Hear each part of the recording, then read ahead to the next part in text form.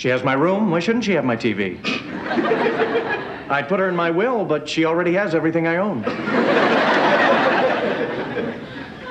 Cousin, if you don't want Gina uh, here, why you didn't say so? It's a little inconvenient, but I'll get used to it.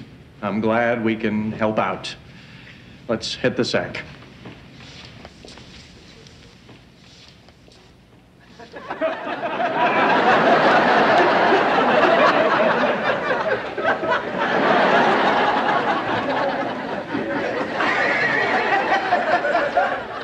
What are those?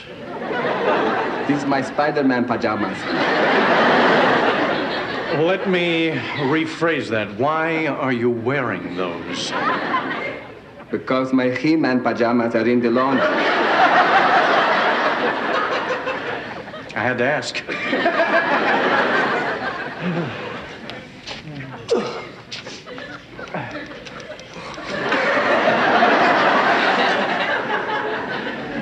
Do you usually sleep on that side? Well, why don't I go No, to that go side to of the bed? No, no, No, I will I go to that side of the bed. mind. Balki, I don't mind sleeping on that side of the bed. I mind arguing about sleeping on that side of the bed.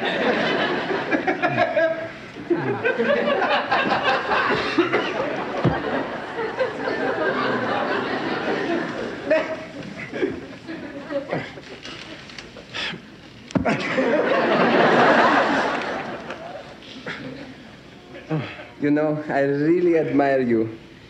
Why is that? Well, because first, you're willing to give up your bedroom to a woman I hardly know.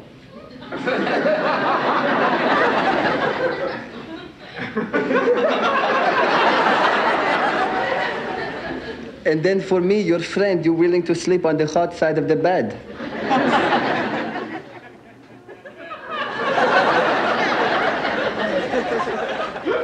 What do you mean, the hot side of the bed?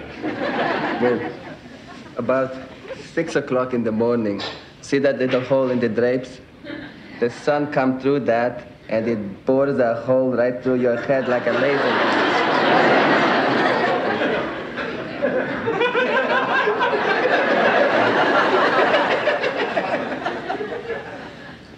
Okay, other side. Move.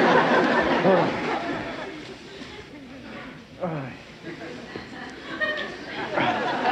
night. Good night.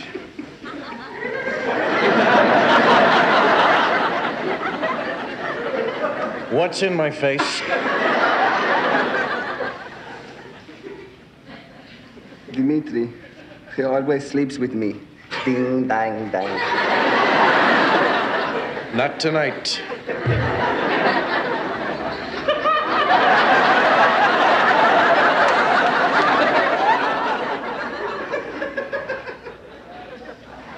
I say my prayers now.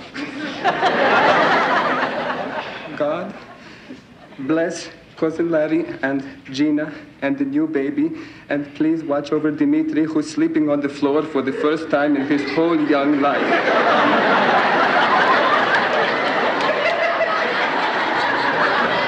Oh.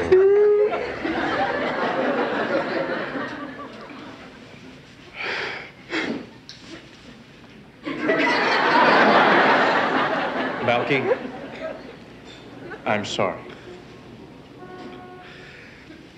I'm not the one you threw on the floor.